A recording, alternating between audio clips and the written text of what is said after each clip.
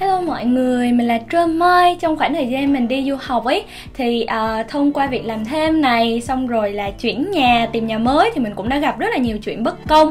Và uh, hôm nay mình sẽ kể một trong những cái câu chuyện bất công mà mình đã gặp. Và nếu như các bạn quan tâm rằng câu chuyện đó là gì Cũng như là mình đã đòi lại công bằng cho chính mình như thế nào Thì các bạn nhớ xem hết tập hôm nay nhé.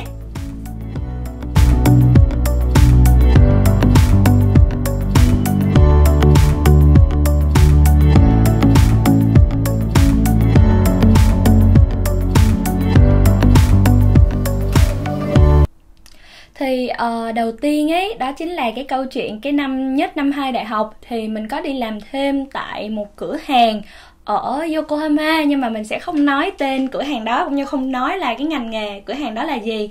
Thì uh, để mình kể cho các bạn nghe. Thì uh, cái hôm đó thì uh, trong cửa hàng có một người tên là Tencho tức là trưởng cửa hàng ha. Thì cái uh, cái anh này anh mới nhờ mình đến trực cái ca vào buổi tối thứ năm thì cái buổi tối thứ năm đó thì mình trực cùng với một bạn người Trung Quốc và sau đó là Tencho thì lúc nào cũng ở trong cái uh, office đó và người ta làm những cái nghiệp vụ của người ta. Còn mình và bạn Trung Quốc đó sẽ đứng quầy chịu trách nhiệm là thu tiền cũng như là quản lý cái cửa hàng đó. Thì hôm đó mình đi làm xong mình về nhà thì mọi chuyện nó cũng rất là bình thường cho đến 10 ngày sau khi sau cái ca làm đó. Thì tự nhiên cái đùng một cái là Tencho gọi mình vào. Ờ, uh, Tencho tức là trưởng cửa hàng ha. Thì Tencho mới gọi mình vào văn phòng bảo là uh, mình uh, đánh cắp 5.000 yên của cửa hàng và mình phải chịu trách nhiệm cho cái vấn đề đó. Thì lúc đầu mình nghe mình cũng rất sốc bởi vì là cái điều thứ nhất ấy là rõ ràng là mình không có ăn cắp và mình cũng không có một cái ký ức nào là mình bị người ta lừa 5.000 yên hết cả bởi vì mình mình bán hàng rồi mình thu tiền từ khách rồi mình bỏ vào quầy rất đầy đủ. Thế là mình cũng rất là bức gọi là mình sốc và mình cũng rất là bức xúc trước những cái kết luận rằng mình là người đã đánh cắp 5.000 yên đó. Thì uh, mặc dù là và mình cố gắng giữ bình tĩnh hết mình à, do đó mình bảo lại với lại tên trồi là bây giờ nếu mà anh nói là em đánh cắp như vậy thì anh có bằng chứng hay không? Thế thì mình nghĩ rằng rõ ràng là mình không làm thì mình chẳng sợ cái gì và chắc chắn là sẽ không bao giờ có một cái bằng chứng nào bởi vì mình có lấy đâu mà mình sợ. Mình mới nói là anh có bằng chứng không mà anh lại nói như vậy. Thế thì Tencho mới bảo là uh, bằng chứng ấy là có một cái đoạn video quay lại là rất là giống như là mình đã mở tủ và mình mở cái quầy thu ngân và mình lấy 5 nghìn yên đó ra, mình bỏ vào túi mình. Ôi, mình lại càng sốc hơn vì rõ ràng là mình không làm như vậy. Thế mình mới nói với lại tên chối là nếu mà có thì anh phải đưa cho em xem. Bởi vì em chắc chắn em không phải là người làm làm mất cái số tiền đó, em không ăn cắp và em cũng không có làm thất thoát cái số tiền đó. Em không hiểu tại sao là em lại phải chịu trách nhiệm. Thế là mình nói như vậy xong, tên chối mới bảo thôi, được rồi, bây giờ ờ, mình cứ đi về nhà đi, rồi ảnh sẽ đưa cho mình xem cái video thế là bẵng đi hai ba ngày sau thì uh, trong hai, ba ngày đó mình mới suy nghĩ, mình mới sâu chuỗi lại sự việc. Mình nghĩ rằng rõ ràng là mình không làm ấy, nhưng mà tại sao người ta lại muốn quy cái tội đó cho mình? Mình cũng suy nghĩ rất là nhiều và mình suy nghĩ đến cái cách như thế nào để mình giải quyết cái vấn đề đó. Thì mình mới nhớ ra là rõ ràng ấy, mình có một cái lý lẽ là rõ ràng là ngày nào cửa hàng cũng kiểm tiền. Vậy mà tại sao ấy, năm ngày sau nếu mà mất ấy, mất ngày hôm đó thì phải biết liền, đúng không? Phải có, phải báo liền. Tại sao đến 10 ngày sau mới báo lại cho mình là mình làm thất thoát? Thì mình thấy đó là một cái điểm mà mình thấy không có logic. Và cái điểm thứ hai là cũng không có bằng chứng, thì rõ ràng là cái vấn đề đó không thể nào quy trách nhiệm về mình được. Thế là hai, ba ngày sau tên mới gọi mình lên. Thì mới đầu mình cũng nghĩ rằng là người ta sẽ đưa cho mình một cái video nào đó, bởi vì ảnh nói trong vẻ có ảnh, hôm nọ ảnh nói, khi mà ảnh kết tội mình thì trong ảnh có vẻ rất là tự tin. Thì mình cũng lo lắng, nhưng mà mình cũng từ từ xem là mọi chuyện nó nó diễn biến theo hướng như thế nào. Thì hóa ra là ảnh không đưa được một cái video nào ra hết. Thế ảnh mới bảo mình một câu như thế này anh bảo là thế thôi bây giờ uh, mất thì cũng mất rồi uh, và em hãy ký vào cái bi- biên bản này đi. Uh, và vì vì năm nghìn yên đó là em làm mất nên là chính em uh, bây giờ không cần biết là em ăn trộm hay là em em vô tình em làm mất hết nên là em phải bồi thường lại số tiền này. Thì mình vì mình cũng đã suy nghĩ về những cái lập luận mà mình có những cái lý lẽ để để bảo vệ bản thân mình nên lúc đó mình mới bắt đầu mình nói với lại với anh tên trồ như thế này mình mới bảo ấy là em thấy cái điều này thật sự là không có công bằng với em. Bởi vì là điều thứ nhất ấy là ngày nào anh cũng kiểm tiền, vậy mà đến mất thất thoát thì rõ ràng là anh phải biết ngay ngày hôm đó, chứ không thể nào mà đợi đến 10 ngày xong sau tự nhiên anh dán cho em một cái tội rất là từ trên trời rơi xuống, em thấy như vậy không công bằng với em.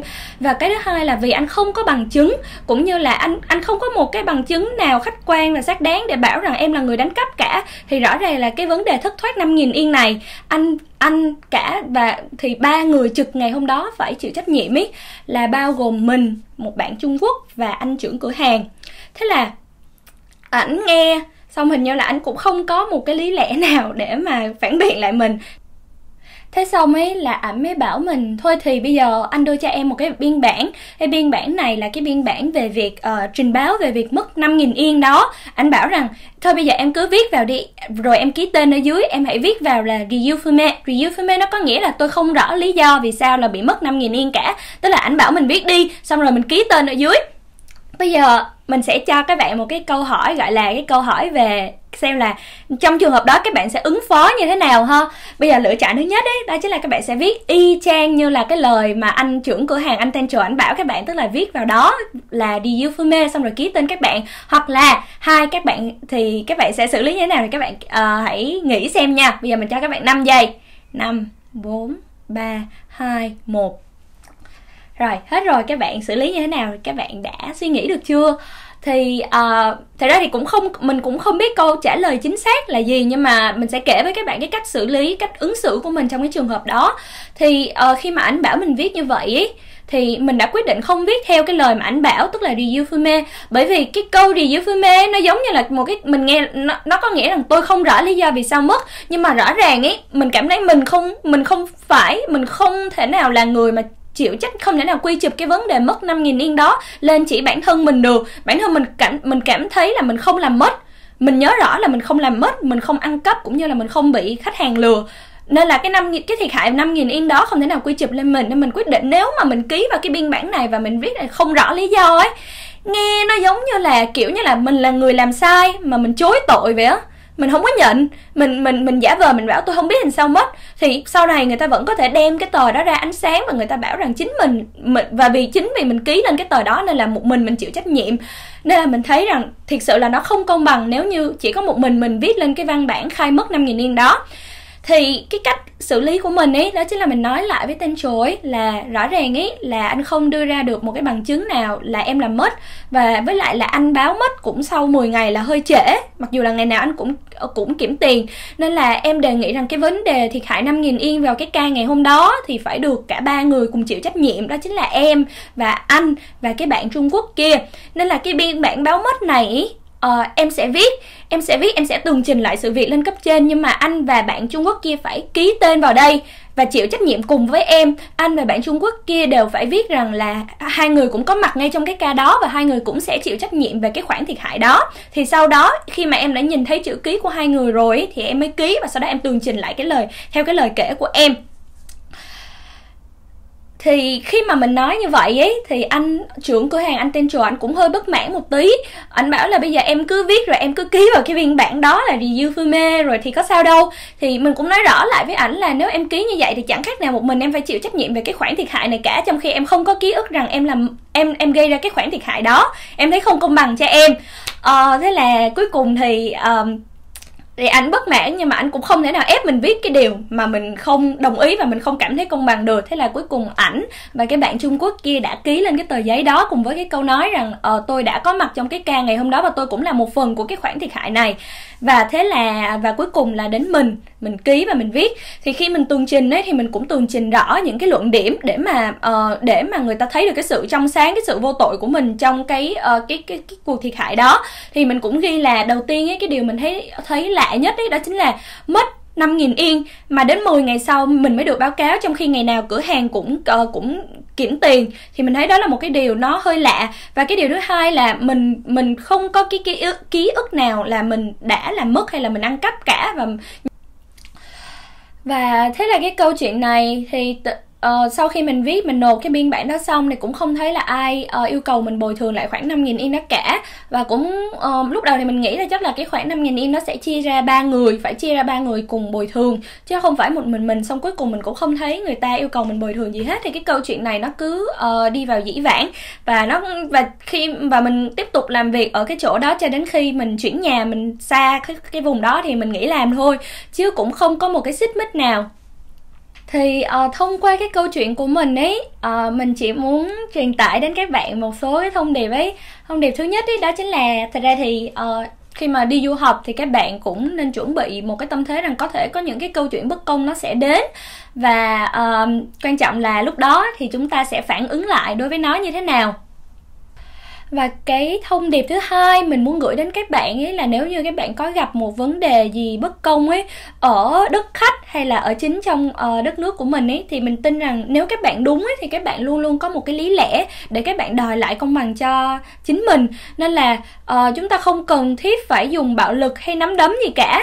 Và mình nhớ rất rõ cái câu nói mẹ mình ngày xưa dạy mình đó chính là bạo lực không bao giờ là cái cách không bao giờ giải quyết được một cái vấn đề nào cả.